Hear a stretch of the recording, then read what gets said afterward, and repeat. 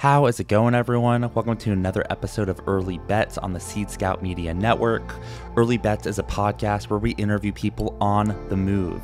These are not people that have necessarily found their thing yet. They're not founders of billion dollar companies, they're not investors on the Midas list. These are just people that have demonstrated really high aptitude that I wanted to get to know and I wanted you to know about as well. So, with that said, let's get into today's episode.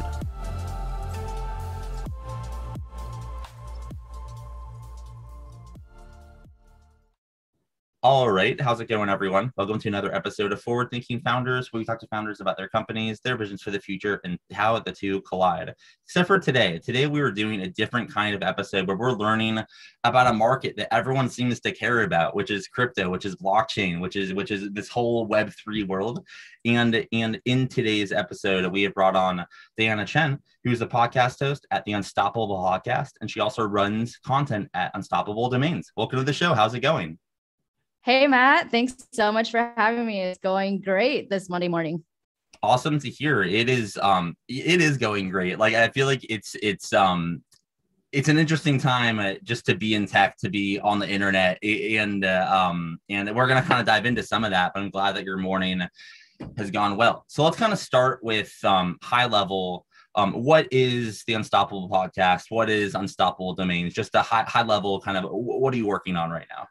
Yeah, sure. So Unstoppable Domains, I'll start there. Um, we're a company that we, we're basically creating the bridge between Web 2 and Web 3 through blockchain domains, which are these human readable names that you can use to send and receive crypto, build decentralized websites, and uh, a whole, whole host of other things.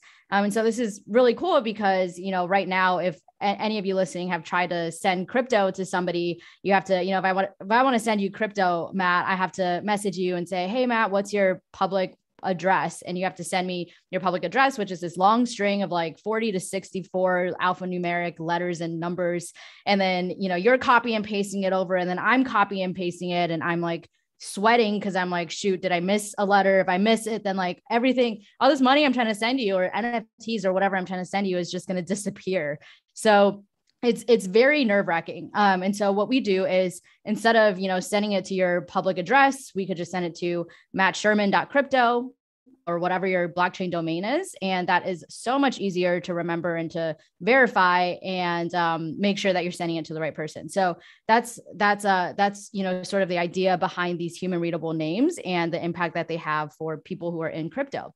And then the Unstoppable podcast is a podcast that's all about uh, all different areas of crypto, specifically focused on Web3. So we talk, I would say we talk less about, you know, trading Bitcoin and ETH and all of that stuff, the finance side of things, and more about like NFTs, DAOs, um, Web3 in general, identity, uh, things like that. So it's a pretty broad podcast, but um, it's it, it, we try to cover all our bases because I think it is really important to have you know sort of this well-rounded education around crypto since there's so much involved and we're talking about you know building the future of the web essentially and so it's important to understand like all these different aspects of it so let's let's go through a little bit of like a user experience of of this um of a domain of unstoppable domain. So let's say I have mattsherman.crypto and I'm going to get that right after this uh, right after this the show.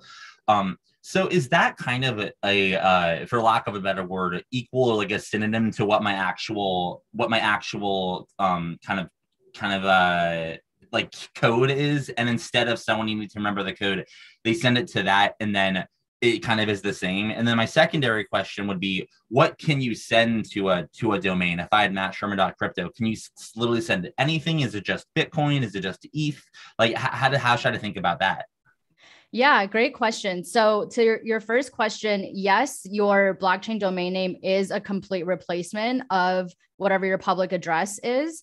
And so instead of like 0x54F2, whatever, you know, on and on for 40 to 60 characters, it'll just be mattsherman.crypto. I can go in my Coinbase wallet. I can type in, you know, send, you know, ETH or Bitcoin or whatever. Um, and yeah, to answer your second question, it, you can send anything. You can send Bitcoin, you can send, send Ethereum, you can send Dogecoin, you can send Litecoin.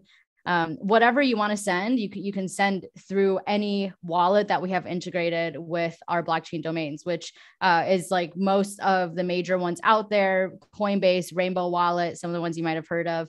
All of those are integrated. And so if you go into your app, uh, you can just type in, you know, Matt mattsherman.crypto and send crypto that way. You should definitely snag that after now that I've said mattsherman.crypto like 50 times. Uh, hopefully somebody will pick up and be like, hey, maybe I'll just send Matt some Bitcoin. I definitely, I definitely will. And it is one of these things where I feel like it's kind of in some ways digital real estate, just like just like a traditional domain is. Because I tried to get I was looking I, when doing research for this, I was looking at just different domains, and someone actually got my company name dot crypto or dot eth. I'm just like, why? Like someone is trolling me right now, but it's okay. It's this. It's just like it's just like kind of how it is. Even even with with GoDaddy, like you get you got one. Those are almost like in some ways I would see like original NFTs, etc. Um, I'm curious though, NFTs and DAOs and chains and all these things. Like, how do you? I guess two questions. One, how do you know what to focus on for the podcast? Like, yes, it's very broad, but like even with this broad focus, there's so much going on. There's so many blockchains, there's so many technologies, so many projects. How do you decide what to focus on and what to ignore and what to pay attention to? Yeah, great question. There is so much happening in the space. So it is not an easy task at all. I would say that part of what I focus on in the podcast is what I'm personally interested in since I'm the host. So I kind of get to pick and choose. Uh, so it does happen to be a lot of NFTs, DAOs, Web3 things. And then how do I narrow it down from there? Well, uh, honestly, crypto Twitter is the source of a lot of my information and maybe not information, but at least the source of like what's hot out there and like what people are talking about, what's trending. And so if I see a new NFT project or a new DAO that is just like making headlines, uh, I'll try to reach out and bring the founder on and talk about that um, whatever people are commenting about, you know, like I try to take note about the episodes that people are messaging me about, like, hey, I really love this episode. Take note, you know, like what was this on? Why did they like it? Um, so a lot of it is user or listener feedback as well. And I try to, you know, put out content that people want to hear. So it's a combination of a lot of those factors, but um, really just like staying on top of crypto Twitter and staying on top of what people are talking about, what's trending is like a, a big part of it. And some more questions kind of going back to the the actual domains. Um, so is what is a way to think about the domains in relation to like web 2 what i mean by that is you know i know there's there's there's multiple um like this dot crypto there's like dot eth there's like i think there's a lot of these um is it like almost like how should someone think about like oh should i get a dot crypto? Should i get a dot blockchain dot blank dot this? Mm-hmm. is it and does it matter um in regards to like what you can send and what you can't or is it all just kind of real estate and you kind of pick pick your tribe in some way? Yeah, great question. Um, so dot eth is through a different company. It's through ens and the biggest difference between ens and unstoppable i would say is that with unstoppable domains you buy it once and you own it for life. You don't have to worry about renewal fees, you know, like you do with traditional domain names. You got to do the annual renewal or else somebody else can snag it up. Um, with ENS, they do do it the traditional way where you have to renew it every year or you have to, you know, buy it for like three years at a time, five years at a time. Uh, so that I would say that's the main difference. And then within Unstoppable, domains, we have right now 10 different top level domains. So dot .crypto is uh, the main one. It was our, our second one actually, but is the main one that people use. That one is integrated with everything that we're integrated with right now. Our um, we launched eight new top level domains in the last couple of months and those are not quite integrated with everything. We're waiting for a layer two solution to come out to integrate everything, just so then it'll be a lot cheaper for people to actually use them to transact and do cool things with them.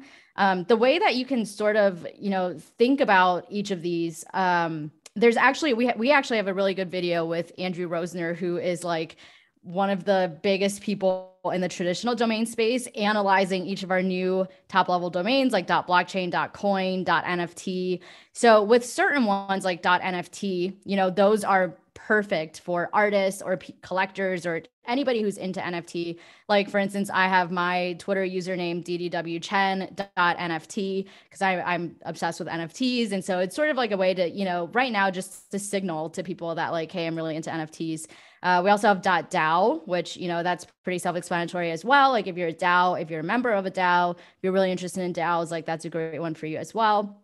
We have dot .x, which is like one that a lot of people are most excited about, just because it's so short and it's so like statement piece. You know, like Diana.x. Like that just sounds like super badass. And so that's one that people are really, really into.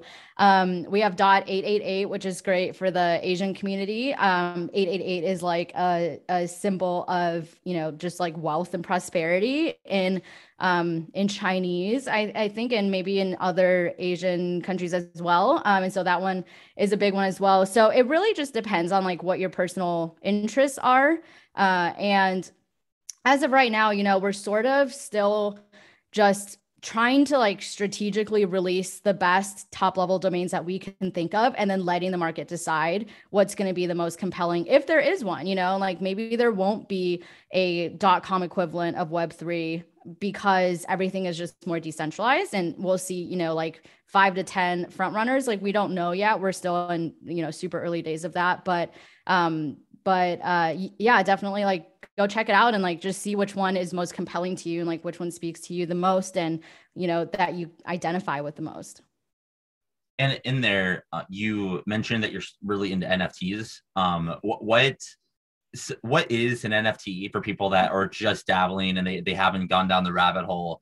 And uh, um let's let's start there. What's an nft yeah so nft stands for non-fungible uh non non-fungible token yeah, non fungible token. Um, I hate starting with that because people are like fungible. Like, what does that even mean?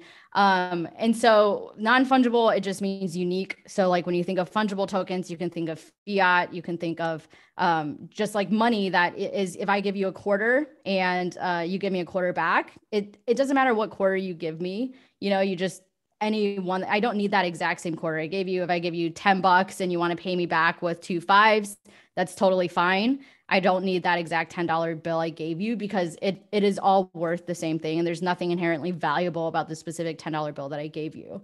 With nfts non-fungible tokens they are unique. And so um, the biggest use case we've seen so far is these nft art pieces uh, but there really are so many more use cases for nfts beyond just art I think we'll see, you know, coming up soon, like the NFT space within blockchain gaming and online gaming really explode with like in-game assets that you can buy. Um, you know, whether to just like show off your style, like digital fashion, or to level up in a game, um, or to do whatever. I think we'll really see that explode. I like to think about, you know, like a more practical aspect of NFTs where you can NFT any unique asset that you hold. And this could be your driver's license, your passport, your home deed, your insurance papers, your health records, anything that is unique to you can be NFT'd and you know stored on the blockchain so that uh, you never lose it and you have everything in one place um, and you can carry it wherever you go. So um, that yeah, I guess that's like an intro into NFTs and I guess like why I'm super interested in it even from the art perspective, like I have never been a collector of any sort. Uh, like I think I I had some Pokemon cards when I was a kid, but like that is probably the extent. But like very casual like Pokemon card holder, um, and never really been into art either. And so you know like why am I like super into NFT art now? I think for me it's really the community behind all of this. So, uh, you know, like if you go on Twitter, you see all these people with like penguins as their profile pic or cats or punks or apes or whatever. And you're like, this is so silly. Like people are paying millions of dollars for, you know, a, a picture of an ape. Like what? And it's all be, from my perspective, it's like all because of the community behind it and what that signifies to people. So it's like if you hold a Bored Ape or if you hold a cool cat, you have access into this gated community of people who you know have maybe similar interests from you maybe different but at least like one one thing you have in common is that you're both really into this project. And when i look at these projects you know there's so many of them now i always will go into the discord go on their twitter see how active and engaged the founders are with the community and see how active and engaged the community members are as well. And so with, with like some uh, communities like cool cats i know they hold calls, you know, not just weekly calls, I think like multiple times a week. They've got these community calls where you can go and learn about the project or you can just go and hang out with people. Um, some of them I've seen do like games like trivia night, you know, like online trivia night with their community members. So there's all of these different um, things that you can do to feel more engaged in a community. And I think that's really like the value that we've seen uh, behind these NFTs.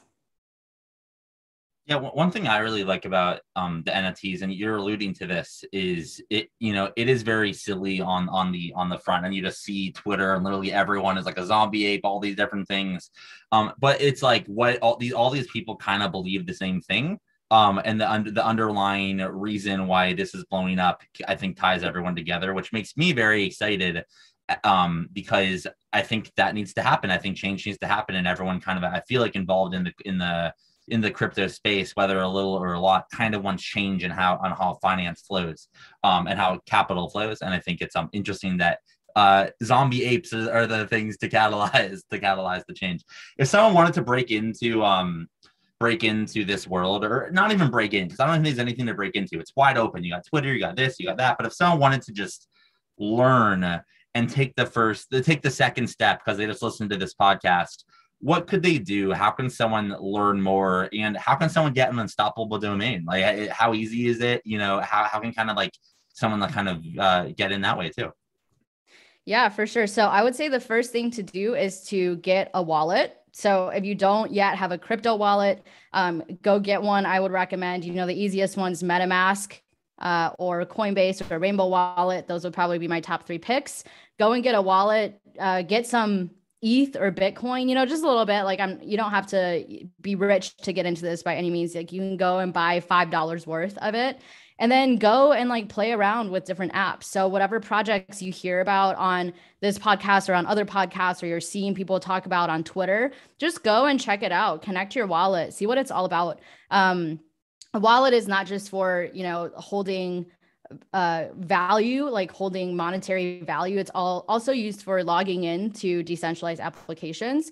And so um, definitely get a wallet, buy some Ether, Bitcoin, or whatever you want, um, and then go and check out some things. I think the best way to learn is by doing. And so go and like actually whatever, you know, projects or apps you hear about in these podcasts, you read about in blogs, go and like check them out. Don't just read about them. Don't just listen to it. Uh, go and actually check it out, play around with it. And then if you want to get a blockchain domain from Unstoppable, just go to unstoppabledomains.com and you can write on that top search bar, search for whatever domain you want, whether it's like your first and last name or, you know, your Twitter handle uh, or whatever you want, go ahead and search for it and then um, pick the domain ending that you want. So like crypto or coin or dot nft or whatever it is you want and we have domains starting from $20 you just buy them once and you have them for life um, and so you don't have to worry about like forgetting to renew them next year or whatever. Um, yeah, it, it's super simple. And then uh, uh, for my last question, if someone wanted to find you on the internet, learn more about you or your podcast, how can they find you? Are you on Twitter, TikTok? Do you have podcast? How do they find that? Yeah, sure. Um, Twitter is the best way to find me. So I'm on Twitter at DDW Chen. And then you can also check out my podcast. It's on Apple, Spotify, anywhere that you would get your podcast. It's just called the Unstoppable Podcast. You can search for it there. If you're more of a video person, we also post all of our podcast video format on our YouTube channel. So just search for the Unstoppable Domains YouTube channel and you can find all of our podcasts there if you prefer to watch. Cool. Thanks for coming on to the podcast. I really appreciate it. Thanks so much for having me, Matt.